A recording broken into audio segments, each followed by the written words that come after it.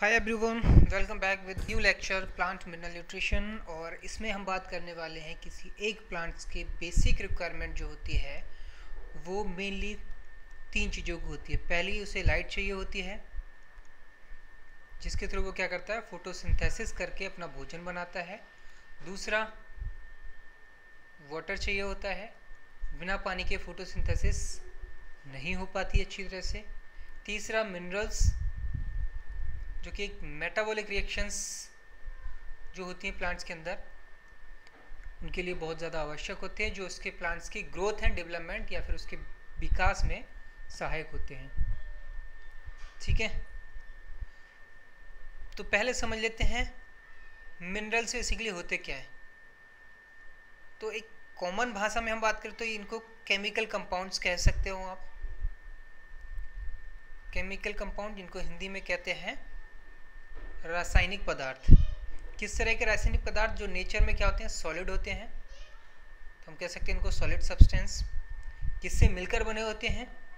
तो ये मिलकर बने होते हैं वन और मोर एलिमेंट्स एक या एक से अधिक तत्वों से। अब एलिमेंट्स तो आपको समझ में आ गया होगा।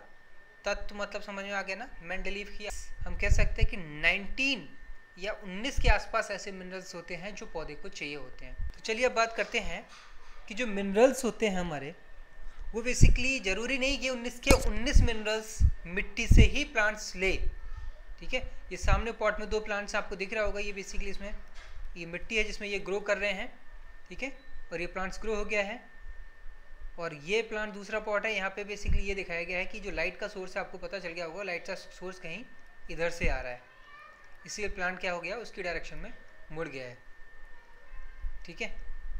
तो हम बात कर रहे थे कि मिनरल्स जो होते हैं 19 के आसपास होते हैं, लेकिन 19 में भी अगर इसके सोर्स की बात करें तो 19 को 19 मिनरल्स सॉइल से नहीं, कुछ मिनरल्स ऐसे होते हैं जिनको ये वाटर या कार्बन डाइऑक्साइड से भी ऑप्टेन करते हैं।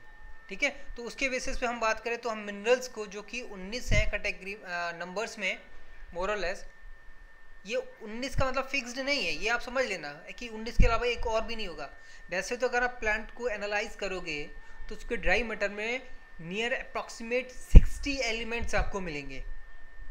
और बहुत बहुत सारे एलिमेंट्स ऐसे भी होते हैं जो सिर्फ़ हायर प्लांट्स में पाए जाते हैं, जैसे सेलेनियम सिल्कन वगैरह लोअर प्लांट्स में नहीं होंगे, ठीक है?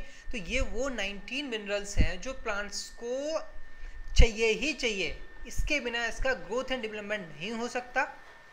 इसीलिए उनको बोलते हैं इसेंशियल मिनरल्स या इसेंशियल एलिमेंट्स ठीक है?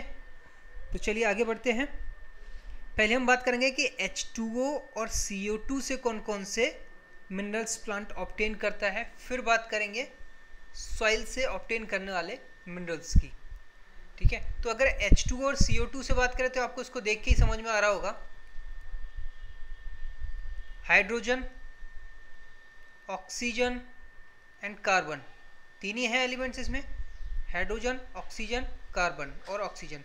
तो H2O और CO2 से जो मिनरल्स प्लांट्स एब्जॉर्ब करता है, वो कौन कौन से हाइड्रोजन, ऑक्सीजन एंड कार्बन। अगर इनकी परसेंटेज बात करें percentage in context of dry matter of plants किसी भी प्लांट्स के, आप किसी भी पार्ट्स को लो और उसको पूरी तरह से ड्राई कर दो। ड्राई का मतलब समझ रहे हैं ना? इसमें ज़ीरो परसेंटेज ऑफ़ वाटर तो उसमें अगर आप एनालाइज करोगे तो सिक्स परसेंट के समथिंग आपको मिलेगा हाइड्रोजन फोर्टी फाइव परसेंट के आसपास आपको मिलेगा carbon sorry oxygen and forty five percent ही मिलेगा आपको कार्बन तो इन तीनों का अगर आप सम करो तो इसका सम इन तीनों का सम निकल के आता है अप्रॉक्सीमेट 96 ठीक है? और जो मेजर एलिमेंट्स हैं, जो इसेंशियल एलिमेंट्स हैं प्लांट्स के लिए चाहिए ही चाहिए वो है 19 मतलब हम कह सकते हैं कि 100 परसेंट रिक्वायरमेंट 19 एलिमेंट्स अगर पूरे करते हैं तो उसमें से 96 परसेंट जो एलिमेंट चाहिए होते हैं, वो सिर्फ़ तीन ही एलिमेंट हैं। ठीक है? अब बचे कितने? 4 परसेंट। तो सॉइल से जो एब्जॉर्ब होने वाले मिनरल्स हैं, वो किसमें होंगे? 4 परसेंट में होंगे। ठीक है? अब सॉइल से जो एलिमेंट्स ये एब्जॉर्ब करता है, उनको भी हम दो कैटेगरी में डिवाइड करते हैं। अब दो कैटेगरी में क्यों करते हैं? क्योंकि कुछ एलिमेंट्स ऐसे होते हैं जिनको प्लांट्स को ज़्यादा मात्रा में चाहिए होते हैं। ठीक है? और कुछ ऐसे होते हैं जो कम मात्रा में चाहिए होते हैं। तो ज़्यादा का मतलब लार्ज तो जो जो लार्ज अमाउंट में चाहिए उनको। एनसीईआरटी में इसमें बताया गया है more than ten millimole per KG और जो स्मॉल अमाउंट में चाहिए होते हैं, या लेस स्मॉल तो नहीं कह सकते ग्रामेटिकली गलत हो जाएगा सॉरी शक्तिमान। लेस अमाउंट में जो चाहिए होते हैं इसको, हम कह सकते हैं कि लेस अमाउंट मतलब less than ten millimole per kg ठीक? तो बात करते हैं जो ज़्यादा अमाउंट में इसको जो चाहिए होते हैं वो कौन कौन से हैं? नंबर वन नाइट्रोजन एन इसको मैं यहाँ पे कलर चेंज कर लेता हूँ, ठीक है? तो इसका बेहतर रहेगा कि हम यहाँ पे ये वाला कलर लें पहला नाइट्रोजन दूसरे नंबर पे है पोटेशियम ये जो मैं इनका ऑर्डर लिख रहा हूँ, ये इनका हायरिकल ऑर्डर है। मतलब जैसे जैसे हम नीचे जाएँगे वैसे वैसे इनकी अमाउंट घटती जाएगी, ठीक है? तो पोटेशियम, उसके बाद calcium C A fourth number पे आएगा मैग्नीशियम,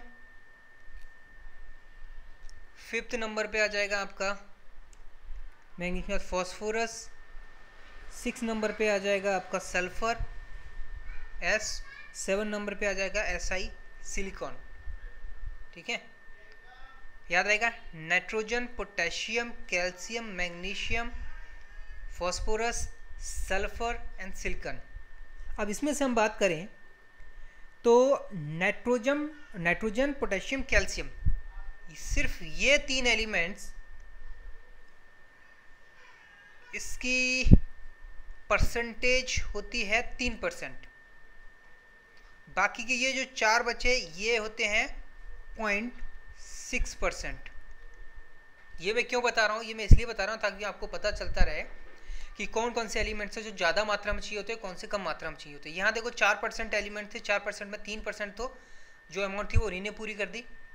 ठीक है? Nitrogen, potassium, calcium. में इसका मतलब साफ़ है कि सबसे ज़्यादा जो चाहिए होता है इसेंशियल एलिमेंट्स में हाइड्रोजन ऑक्सीजन कार्बन के बाद तो वो होता है नाइट्रोजन, फिर उसके बाद पोटेशियम, फिर उसके बाद कैल्शियम। इसके बाद मैग्नीशियम, फिर इसी तरह से ये इनकी अमाउंट घटती जाती है। ठीक है? अब देखो, यहाँ पे इनकी अमाउंट कितनी होगी? लार्ज अमाउंट की तो इनने पूरा कर दिया थ्री पॉइंट सिक्स परसेंट और कुल लाभ की कितनी थी? चार परसेंट तो बचा कितना? सिर्फ़ point four percent four zero कर सकते हो आप। तो जो लेस अमाउंट या कम मात्रा में चाहिए कम मात्रा में जो एलिमेंट चाहिए होते हैं प्लांट्स को, वो सिर्फ़ और सिर्फ़ क्या होता है? पॉइंट फोर ज़ीरो अमाउंट को फुलफिल करते हैं कंट्रीब्यूट करते हैं। कौन कौन से हैं? बात कर लेते हैं इसमें। नंबर वन इसको क्लोरीन पूरा ही लिख देता हूँ। नंबर टू आयरन एफ़ जिसको आप कहते हो। नंबर थ्री आयरन के बाद boron number four manganese M A sorry Shaktimaan हो गया यहाँ पे M A G A N E S E number five number five पे आ जाएगा आपका सोडियम। सबको पता होगा। नंबर सिक्स पे आ जाएगा आपका जिंक। नंबर सेवन पे आ जाएगा आपका कॉपर। और उसके बाद बचेंगे आठ और नौ। आठ नंबर पे है आपका निकिल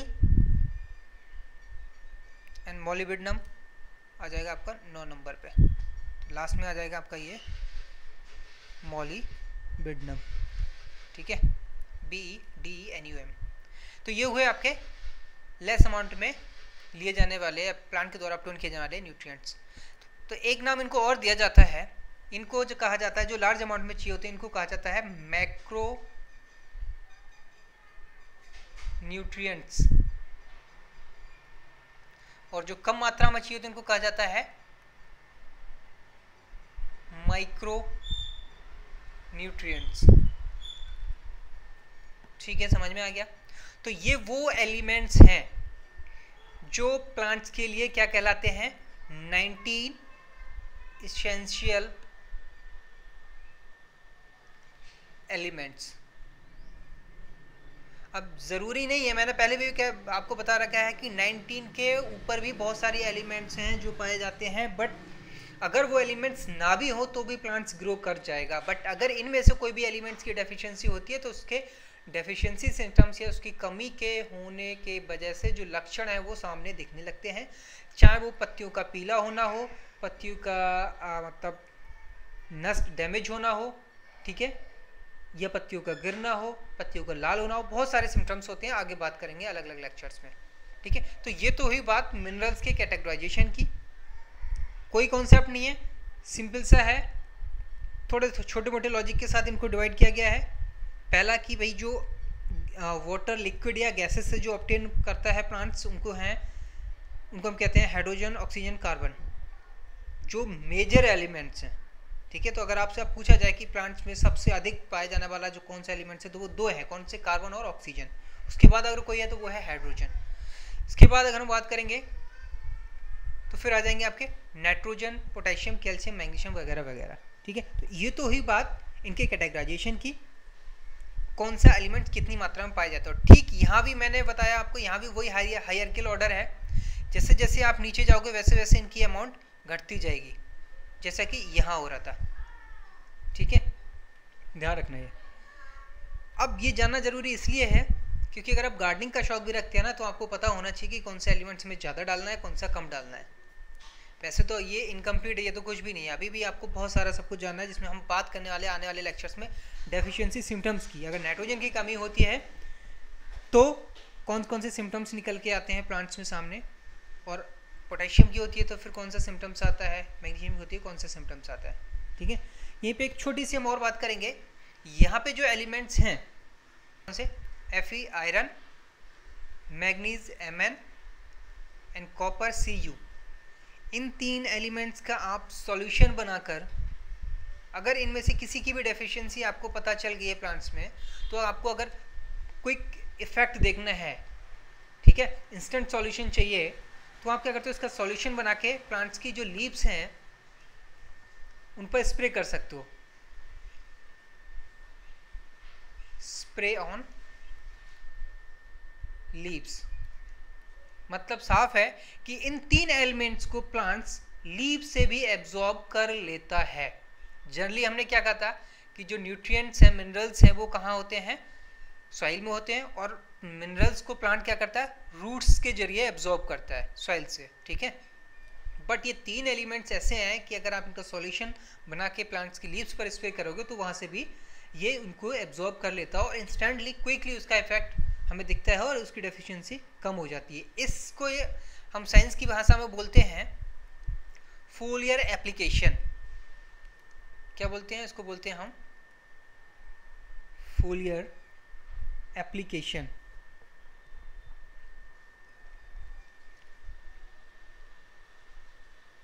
ठीक? फुल ईयर एप्लीकेशन तो ये तो बहुत ही बेसिक और शॉर्ट वीडियो था कैटेगराइजेशन का। ठीक है?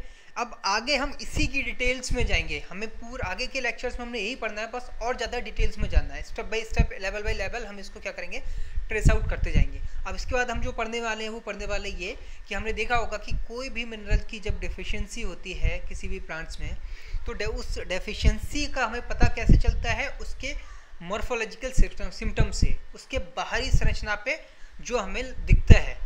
जैसे उसकी पत्तियाँ पीली पड़ने लगती हैं, पत्तियाँ गिरने लगती हैं, पत्तियाँ लाल पड़ने लगती हैं, पत्तियाँ डैमेज होने लगती हैं, ठीक है? स्टेम पे इफ़ेक्ट दिखता है। तो उन सबसे हम अंदाज़ा लगाते हैं कि कौन से मिनरल्स की कमी हो रही है।